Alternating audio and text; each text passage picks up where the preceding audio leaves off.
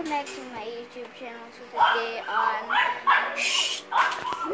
um my gagawin po ako which is BT, BTS collection. Wait, I'm just gonna close the door. Guys, medyo maingay pa rin dahil So yun. Maingay, sorry. Ito yung BTS ko and mga BT21 na. So yan. Anayin mo na yung notebook. Yung BTS ko na notebook. Shh! Ba yan ang ingay? Quiet! Ito yung BTS and Blackpink or K-pop ko na notebook. K-pop siya. Yan. BTS. BT21 BTS. Blackpink. Ito siya. Napakita ko na rin to sa vlog, my K-pop notebook. Ayan. Ayan.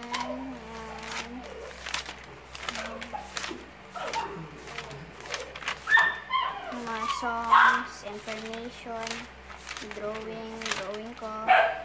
Ito yung hindi ko pa nakapakita. Ayan. Bagong gawa ko lang yan.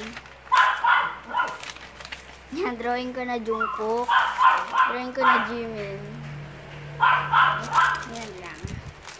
Tapos, merong nadagdagan na hindi siya um, K-pop. And drawing ni Kuya Michael. Ang cute. Ayan.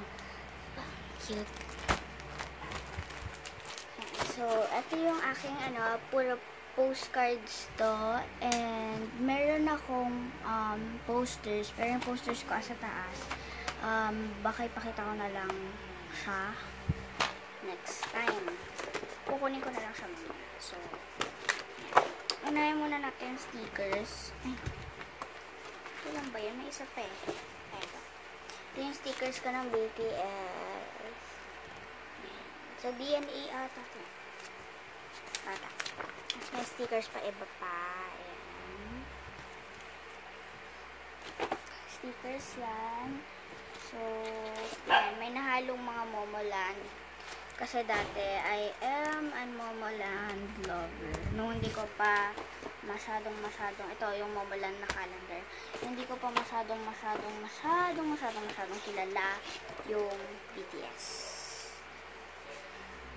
Nakalimutan ko na yung mga pangalan nila dito. Dati, kabisadong kabisado ko yun. Like sa amin, ako ako pa nga yung tinatanungan ng mga kaklase ko kung sino yun eh. Kung sino to, kung sino to. Yung mga post, ay mga, ito